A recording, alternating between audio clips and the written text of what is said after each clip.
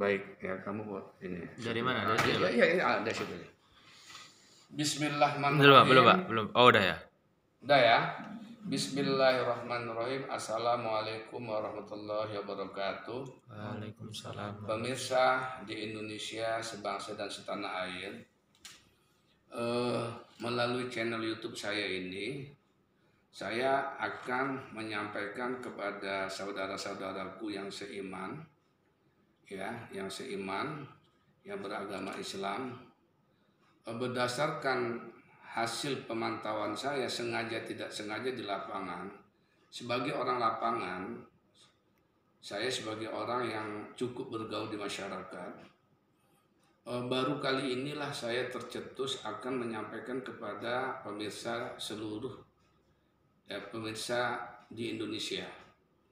Tolong simak baik-baik eh, video saya ini tidak lama, tapi mohon dipraktekkan agar saya mendapat pahala dan kalian yang mendengarkan dapat pahala. Setelah kalian memahami yang singkat padat jelas ini kalian sampaikan kepada orang-orang terdekat agar kita apa? Mendapat pahala namanya amal amal jariah. Bukankah Allah telah bu- bukankah Rasulullah telah bersabda qala Rasulullah sallallahu alaihi wasallam Idza matabnu adama yang qata'a amalu illa min thalathin. Sadaqatun jariyah au ilmu yuntafa'u bih au waladun solihun yad'ulah. Rawahu muttafaqun alaih.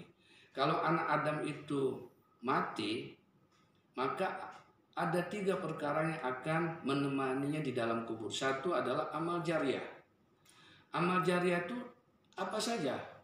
Apa berupa harta, apa berupa nasihat, Kedua, ilmu yang diamalkan. Ketiga, anak-anak kita yang soleh dan soleh. Nah, mungkin yang akan saya sampaikan inilah berupa bisa amal jariah, bisa ilmu yang diamalkan. Apa itu pemirsa? Dengarkan baik-baik. Menurut saya, maaf kalau menyinggung saudara-saudara seiman. Anda lihat channel YouTube saya, Alhamdulillah saya berhati-hati dalam berbicara. Dalam channel YouTube saya, saya berhati-hati melakukan perbuatan haram, baik nampak maupun tidak nampak. Karena saya ingin channel YouTube saya ini hanya hiburan saja untuk mendapatkan pahala dunia akhirat. Dunianya kita paham, akhiratnya saya mati masuk surga alias husnul khotimah. Sekali lagi, statement yang mau saya sampaikan, dengarkan. Menurut saya, wallahu a'lam bisawab, biar pemirsa jangan marah sama saya. Ini hasil pemantauan saya, ha, ya hasil hasil ap- apa apa hasil renungan saya. Menurut saya, eh, me- menurut pemantauan saya, wallahu a'lam bisawab. Mungkin maaf kalau salah, maafkan saya kepada Allah saya minta ampun. Umat Islam di umat Islam khususnya di Indonesia karena saya berbahasa Indonesia, kalian berbahasa Indonesia.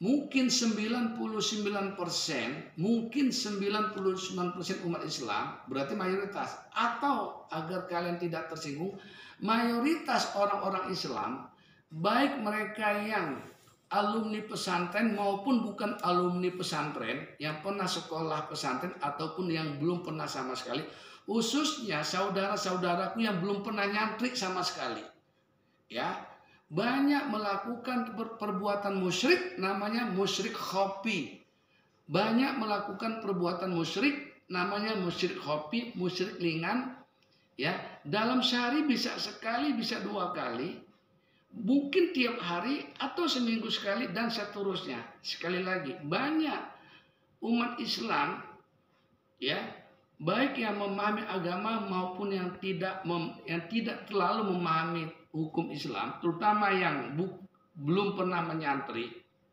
belum pernah jadi santri, banyak melakukan perbuatan musyrik hampir setiap harinya. Ini makanya saya memberitahu kepada kalian. Sekarang saya memberitahu kepada mahasiswa saya. Kebetulan mohon maaf saya ini sedang me- eh, apa namanya memberikan membimbing mahasiswa saya di kampus.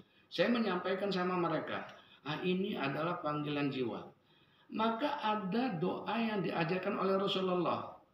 Apa doanya? Allahumma inni a'udzubika an usyrika bika wa nahnu na'lam wa na'udzubika an nusyrika bika wa nahnu la na'lam. Ya Allah, kami berlindung pada engkau, aku berlindung pada engkau daripada mempersekutukan engkau yang aku pahami, yang kami pahami. Dan sebaliknya kami atau aku berlindung kepada engkau dari perbuatan musyrik yang tidak kami pahami. Nah yang akan saya kaji adalah perbuatan musyrik yang kita tidak pahami, yang saya tidak pahami. Ini namanya musyrik hobi. Apa itu? Dengarkan baik-baik pemirsa. Contoh, suatu saat Anda membawa motor atau mobil, motor Anda mengalami kecelakaan, mobil Anda mengalami masalah apa pecah ban, kehabisan bensin atau atau kerusakan mesin. Tiba-tiba ada orang yang menolong Anda. Tiba-tiba ada orang yang menolong Anda, baik yang menolong Anda itu Anda kenal ataupun tidak kenal. Perbuatan apa saja? Contoh ketika Anda oh, akan membeli sesuatu, tiba-tiba uang Anda kekurangan, ya, tiba-tiba ada orang yang menolong Anda, ditambah, ya, ketika Anda merasa ditolong oleh orang tersebut, Anda bilang, untung ada kamu, kalau nggak ada kamu, mampus saya. Untung ada kamu, kalau enggak, saya dihabisi oleh preman. Ya, jadi setiap kita menerima kebaikan dari orang, kita bilang untung ada kamu. Di sinilah kata-kata untung ada kamu perbuatan musyrik kopi. Di sinilah perbuatan musyrik kopi.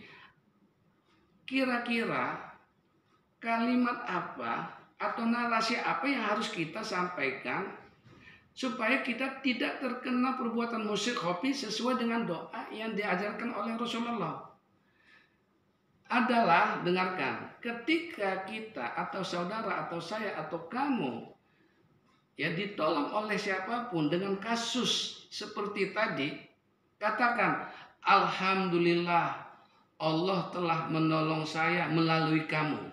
Sekali lagi pertama kita mengucapkan segala puji bagi Allah. Pertama kepada Allah dulu. Ketika kita ditolong oleh orang ya ban kita pecah di tengah tol kita nggak bisa mengganti karena nggak paham. Lalu ditolong oleh orang siapa pun yang menolong kita ucapkan Alhamdulillah Allah telah menolong saya melalui saudara. Yang kedua kita ucapkan terima kasih kepada orang tersebut. Tapi kata kuncinya tetap Allah. Terima kasih Pak ya terima kasih Bu ya terima kasih Mas ya terima kasih Dek ya ya. Sekali lagi Terima kasih Pak ya. Bapak telah menolong saya atas kehendak Allah. Terima kasih Pak ya. Bapak telah menolong saya atas kehendak Allah.